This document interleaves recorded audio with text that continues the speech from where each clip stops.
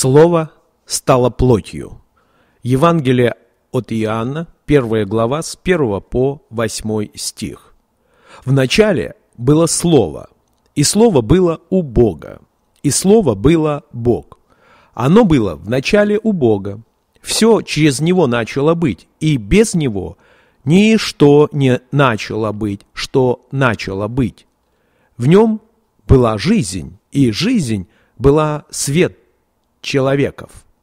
И свет во тьме светит, и тьма не объяла его.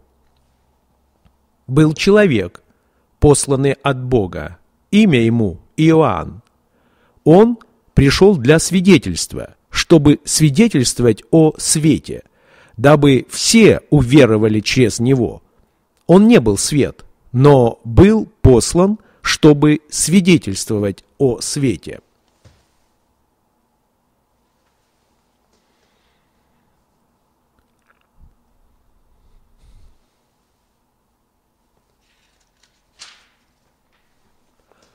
Размышления, часть первая.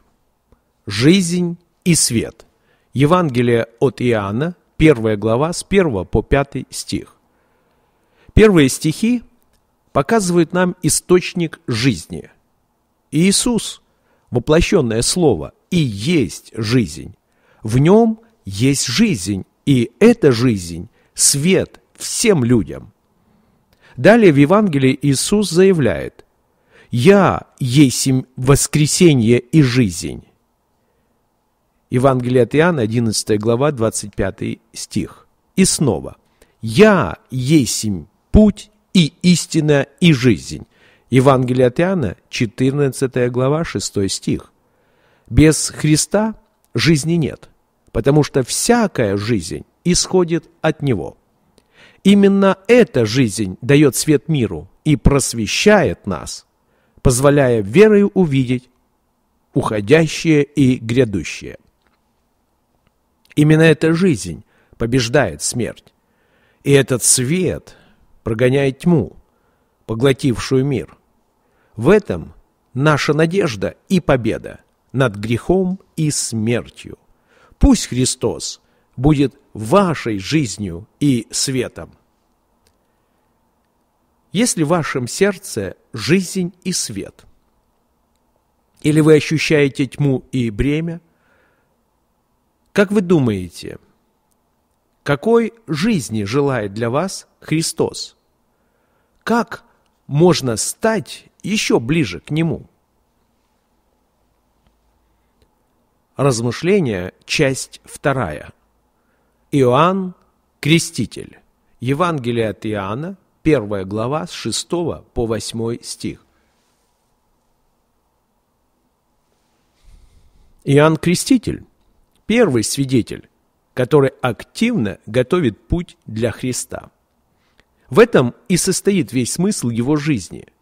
Из дальнейшего повествования мы знаем, что Иоанн, находясь в заключении, был обезглавлен.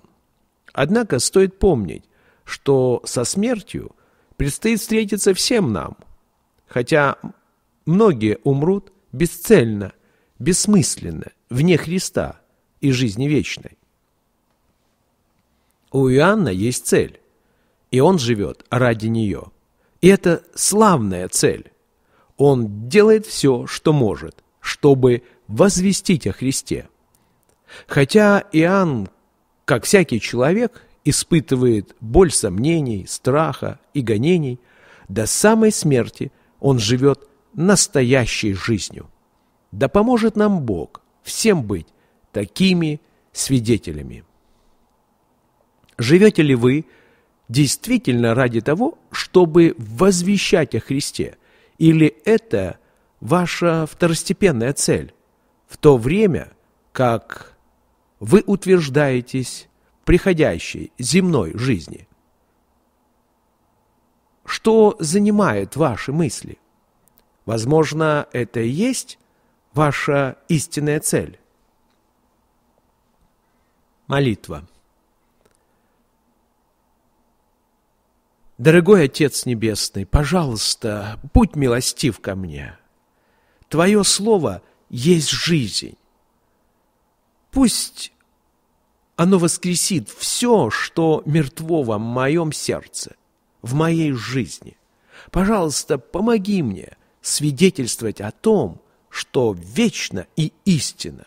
Во имя Иисуса Христа я молюсь. Аминь.